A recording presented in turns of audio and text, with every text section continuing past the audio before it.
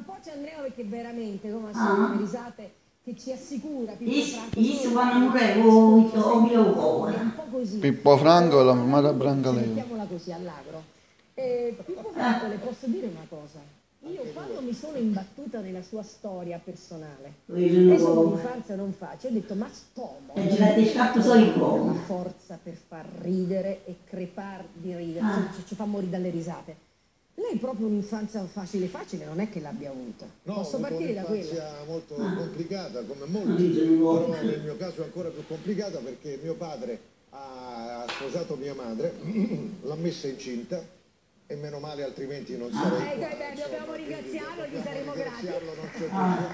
Poi è partito due donne. Eh, io sono nato quando lui era prigioniero in guerra, è tornato dopo sei anni, Ah. è mancato dopo sei mesi e io sono cresciuto Mm. senza padre, diciamo con una sorta di, eh, di ricordo di mio padre, che sono andato a scoprire durante tutta quanta la mia esistenza. E- e- ma